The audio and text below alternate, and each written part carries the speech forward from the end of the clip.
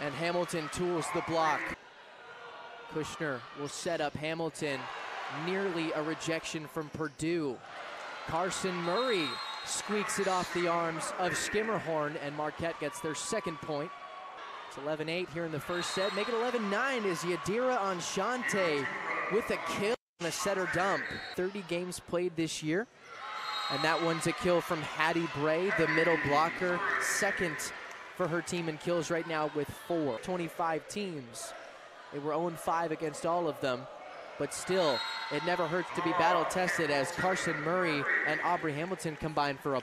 The Boilers keep that ball on the side of the Golden Eagles, but a kill, that one's gonna come from Nastia Svetnik. Chicoine from the back row. Hamilton on the left side, it off Skimmerhorn. That's the 11th kill for Hamilton, which is one more than she had against Eastern Illinois. From the freshman from McCutcheon. Carson Murray goes up and over, and she gets her fourth kill. Doing a really good job on these last couple of volleys, keeping the ball on their side of the floor, and you see another point there as they.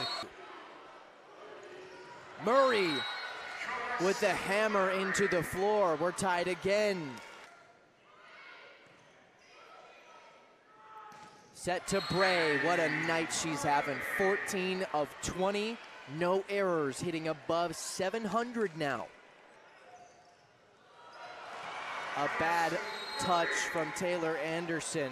That two-point edge for Marquette is going strong.